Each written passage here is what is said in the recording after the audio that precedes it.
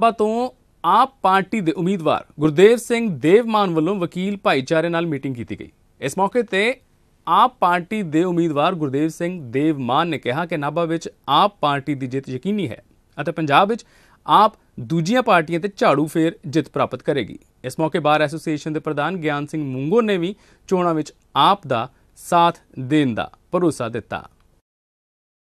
ਨਾਭਾ ਬਾਰ session ਦੇ ਵਿੱਚ ਮੈਨੂੰ ਅੱਜ ਬੁਲਾਇਆ ਤੇ ਮੈਂ ਆਪਣੇ ਵਿਚਾਰ ਦੱਸਣ ਵਾਸਤੇ ਔਰ ਬੇਨਤੀ ਕਰਨ ਵਾਸਤੇ ਕਿ ਆਮ ਪਾਰਟੀ ਦਾ ਸਾਥ ਦਿਓ। ਔਰ ਉਹਦੇ ਲਈ ਵਿਸ਼ੇਸ਼ ਤੌਰ ਤੇ ਆਇਆ ਮੈਂ, ਆਪਣੇ ਵਿਚਾਰ ਰੱਖੇ ਨੇ।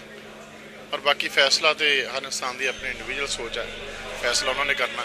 ਮੈਂ ਤੇ ਆਪਣਾ ਪੱਖ ਰੱਖਿਆ ਕਿ ਭਾਈ ਅਸੀਂ, ਸਾਡਾ ਵਿਜ਼ਨ ਕੀ ਆ ਅਸੀਂ ਪੰਜਾਬ ਦੇ ਵਿੱਚ ਕਿਵੇਂ ਦਾ ਪੰਜਾਬ ਚਾਹੁੰਦੇ ਹਾਂ?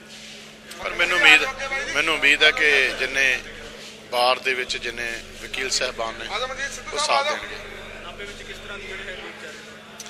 ਕਲੀਨ ਸਵੀਪ ਹੈ ਜੀ। ਨਾਭਾ ਕੀ ਪੂਰੇ ਪੰਜਾਬ ਦੇ ਵਿੱਚ ਕਲੀਨ ਸਵੀਪ ਹੈ। ਅਕਾਲੀ ਦਲ ਜਿਹੜਾ ਉਹ ਜ਼ੀਰੋ ਤੇ ਜਾ ਰਿਹਾ। ਕਾਂਗਰਸ ਦੀ ਹਾਲਤ ਬਹੁਤ ਬਦਲੀ ਹੈ। ਕਲੀਨ ਸਵੀਪ ਹੈ ਔਰ ਆਮ ਪਾਰਟੀ ਸਰਕਾਰ ਬਣਨ ਜਾ ਰਹੀ ਹੈ ਰੁਝਾਨ ਜੀ, ਆਮ ਆਦਮੀ ਪਾਰਟੀ ਦੀ ਸਰਕਾਰ ਬਣਨ ਜਾ ਰਹੀ ਆ।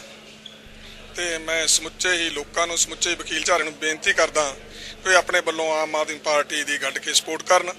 ਤੇ ਆਮ ਆਦਮੀ ਪਾਰਟੀ ਦੀ ਸਰਕਾਰ ਬਣਾਉਣ ਦੇ ਜੋ ਸਿਸਟਮ ਨੂੰ ਚੇਂਜ ਕਰਨ ਦੇ ਲਈ ਸਰਕਾਰ ਬਣ ਰਹੀ ਆ, ਉਹਦੇ 'ਚ ਹਿੱਸਾ ਪਾਉਣ।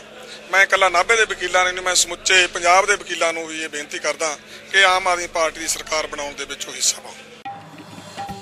ਸਮਾਣਾ ਵਿਧਾਨ ਸਭਾ ਹਲਕਾ ਤੋਂ ਅਕਾਲੀ ਦਲ ਬਾਦਲ ਦੇ ਉਮੀਦਵਾਰ ਸੁਰਜੀਤ ਸਿੰਘ ਰਖੜਾ ਨੇ ਕਾਂਗਰਸੀ